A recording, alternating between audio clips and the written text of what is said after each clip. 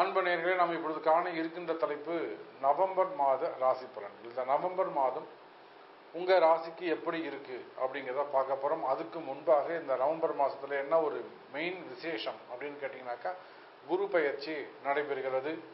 So பனிரெண்டு ராசி அன்பர்களும் ரொம்ப ஆவலோடு எதிர்பார்த்து காத்திருக்கக்கூடிய அந்த குரு பயிற்சி இந்த நவம்பர் மாதம் பதினோராம் பதிமூன்றாம் தேதி நடைபெறுகிறது. இந்த பனிரெண்டு ராசி அன்பர்களுக்காகவும் இந்த குரு பெயர்ச்சி பரிகார ஹோமம் நடைபெறுகின்ற இந்த குரு பெயர்ச்சிக்காக பன்னெண்டு ராசி அன்பர்களுக்கும் மேஷத்திலிருந்து மீனம் வரையிலும் ஒவ்வொரு ராசி அன்பர்களுக்கும் பரிகார ஹோமம் பிராயச்சித்த ஹோமம் நடைபெறுகிறது. அந்த பிராயச்சித்த பரிகார ஹோமத்தில் நீங்கள் கலந்து கொள்ள வேண்டும் என்று விரும்பினால் கீழே தெரியக்கூடிய அந்த நம்பருக்கு ஒரு ஃபோன் செய்து உங்களுடைய பெயரை நட்சத்திரத்தை பதிவு செய்து கொள்ளுங்கள். அதற்கான கட்டணத்தை செலுத்தி அதே போல் அன்பு நேர்களே நம்மளோட சேனலை சப்ஸ்கிரைப் பண்ணியிருக்கீங்களான்னு பாருங்கள் இல்லைனா ஃபஸ்ட்டு சப்ஸ்கிரைப் பண்ணிக்கோங்க. அப்போ தான் அடுத்தடுத்த நோட்டிஃபிகேஷன்ஸ் உங்களுக்கு வந்து கிடைக்கும். வாருங்கள் நண்பர்களே இந்த நவம்பர் மாதம் உங்களுக்கு எப்படி இருக்குது அப்படின்றத பார்த்துருவோம். அதே போல் நீங்கள் ஒரு மேஷராசி அப்படின்னு சொன்னாக்கா நீங்கள் மேஷ லக்னமாக இருந்தாலும் சரிதான் ராசியாக இருந்தாலும் லக்னமாக இருந்தாலும் அந்த லக்னத்துக்குரிய பலன்களையும் நீங்கள் சேர்த்து பார்க்கின்ற பொழுது தான் உங்களுக்கான துல்லியமான பலன்கள் இன்னும் கூட தெரிய வரும். ஆகினால வாருங்கள் நம்ம ராசிக்கு போயிடலாம். அன்பார்ந்த ரிஷப ராசி நேயர்களே ரிஷபராசி நேயர்களே இந்த நவம்பர் மாதம் கிரக அமைப்புகள் அப்படின்னு எடுத்துக்கிட்டாக்கா உங்களுடைய ராசிநாதன் ராசிக்கு எட்டாவது வீட்டில் தனுசு ராசியில் மறைந்திருக்கிறார். ஆறு எட்டு பன்னெண்டு என்று சொல்லக்கூடிய பன்னெண்டாவது எட்டாவது வீட்டிலே சுக்கரன் அமை அமைந்திருக்கிறார். அதே போல ராசிக்கு ஏழுக்கும் பன்னெண்டுக்கும் உடைய செவ்வாய் பகவான் அவர் ராசிக்கு பஞ்சமஸ்தானத்திலே ஐந்தாவது வீட்டில் அமர்ந்திருக்கிறார். கண்ணில இருக்கிறார். இந்த மாசத்துடைய சிறப்பு ரிஷபராசிக்கு என்ன பெஸ்டா எது சாமி இருக்கும்? அந்த பாயிண்ட்ஸை சொல்லுங்க. அப்படின்னாக்கா நிச்சயமா குரு பெயர்ச்சி மிகப்பெரிய ஒரு வரப்பிரசாதமாக இந்த ரிஷபராசிக்கு அமைகிறது. ராசிக்கு தொழில் ஸ்தானத்துக்கு குரு பகவான் வருகிறார். அப்படி வரக்கூடிய குரு பகவான் உங்க ராசிக்கு இரண்டாவது வீட்டை ரிஷபராசிக்கு இரண்டாவது வீடாக விளங்கக்கூடிய மிதுனத்தை பார்க்கிறார் நாலாவது வீட்டை சுகஸ்தானத்தை பார்க்கிறார். அதை விட்டாச்சுன்னு சொன்னாக்கா ஆறாவது வீட்டையும் அவர் பார்க்கிறார். அப்ப ரிஷபராசி நேர்களே கடன் சுமைகள் கடன் பிரச்சனைகள் இவைகள் இருக்குமே ஆனால் அந்த கடன் சுமைகள் குறைவதற்கு அதிகமான வாய்ப்புகள் உண்டு. அப்ப கடன் சுமை குறையறதுக்கு என்ன சாமி பண்ணணும்? அல்லது எனக்கு வந்து வட்டி பிரச்சனை இருக்கு அல்லது வம்பு வழக்குகள் கேஸ் ப்ராப்ளம் இருக்கு. ஸோ அல்லது ஒரு வீண்படி அவமானங்கள் இருக்கு நான் என்ன செய்யணும் அப்படின்னாக்கா நிச்சயமா நீங்க அந்த குரு பயிற்சி பரிகார ஹோமத்துல கலந்துக்கிறது சிறப்பை தரக்கூடியதாக இருக்கும்.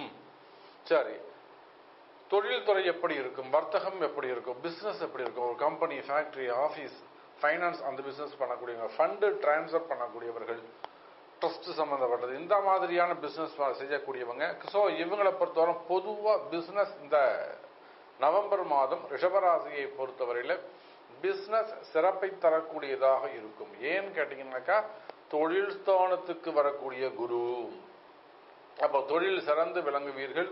தொழிலில் புதிய முயற்சிகளை எடுப்பீர்கள். ரொம்ப நாளாக லாங் டைமாக தள்ளி போட்டுனே வந்த அந்த ப்ராஜெக்ட்ஸ் எல்லாம் நீங்க திருப்பியும் ரீஸ்டார்ட் பண்றதுக்கான சான்சஸ் உண்டு. எப்பவோ நீங்க முடிவு செய்திருந்த சில விஷயங்கள் ஒரு சில விஷயங்கள்லாம் கூட இந்த மாதம் நடைபெறுவதற்கான வாய்ப்புகள் உண்டு. ரிஷப ராசி நேயர்களே அதுக்கு அடுத்தபடியாக பார்த்தீங்கன்னாக்கா வேலை வாய்ப்பு வேலை வாய்ப்புகளை பொறுத்தவரையில் ரிஷபராசி நேயர்களை இந்த மாதம் ஒரு சிறப்பான மாதமாக அமைகிறது. பத்தில் இருக்கக்கூடிய குரு பகவான் பதவியை குலைக்க மாட்டார். நல்ல ஒரு உயர்ந்த ஸ்தானத்தை உங்களுக்கு கொடுக்க இருக்கின்றார் என ராசியில் இருக்கக்கூடிய ராகு. இன்னும் கூட உங்களுக்கு டீப்பா ப்ரெடிக்ஷன் சொல்லணும் அப்படின்னாக்கா உங்களுடைய பர்த் சார்ட்டை கொடுத்து பார்க்கும்போது தான் இன்னும் கூட உங்களுக்கு தெளிவான பதில்களை சொல்ல முடியும்.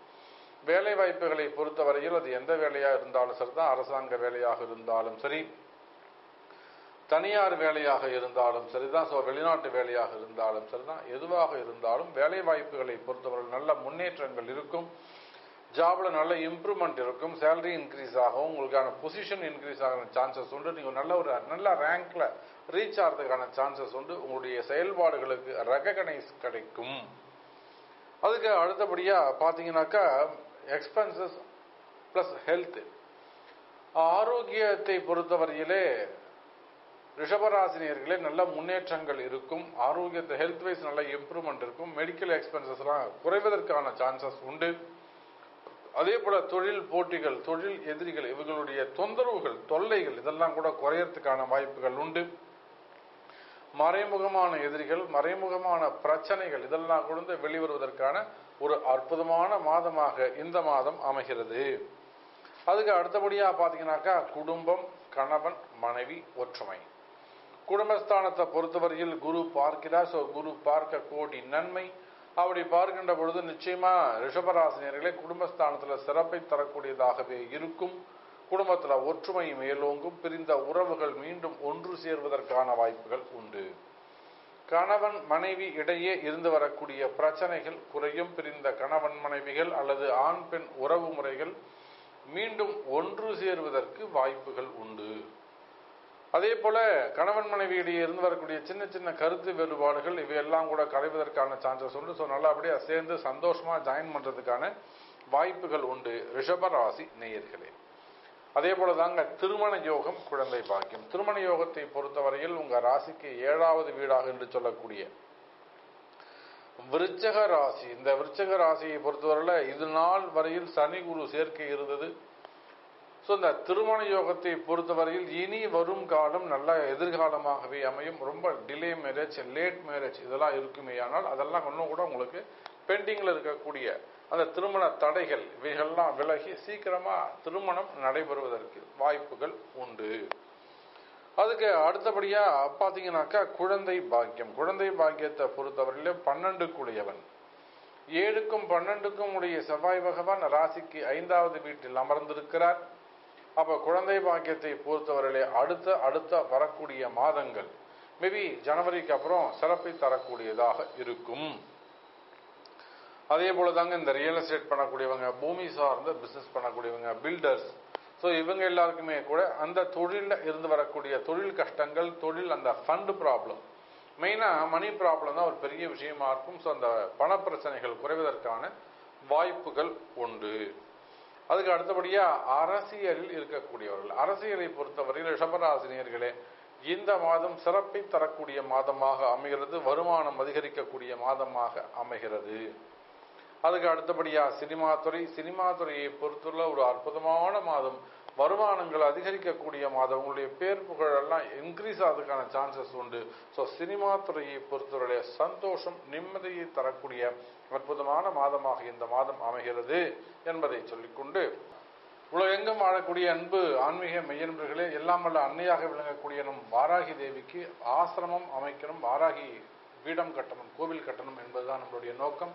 பாராகி கோவில் கட்டுறதுக்காக இடம் தேடிக் கொண்டிருக்கின்றோம். நாங்கள் தேடக்கூடிய இடம் நம்ம ட்ரஸ்ட்டுக்கு தானமாக கிடைக்கும் என்று சொன்னால் அது உங்களிடம் இருக்கும் என்று சொன்னால் சாமி நான் தரேன் தானமாக தரேன் அப்படின்னாக்கா அதுக்கும் கிழக்கு தெரியக்கூடிய அந்த நம்பருக்கு தொடர்பு கொள்ளுங்கள் என்பதை தெரிவித்துக் கொண்டு அதே போல இந்த குரு பயிற்சி ஹோமத்தில் கலந்துக்கணும்னு விருப்பப்படக்கூடியவங்க பரிகாரத்தில் கலந்து கொள்ளுங்கள் என்பதை தெரிவித்துக் கொண்டு மீண்டும் வேறு ஒரு அற்புதமான பதிவில் உங்களை சந்திக்கிறேன். அதுவரை உங்களிடமிருந்து விடைபெறுவது உங்கள் தாம்பரம் ஸ்ரீ வாராகி ஈசநேசன் சுவாமிகள். ஜெய் வாராகி. ஜெய் ஜெய் வாராகி.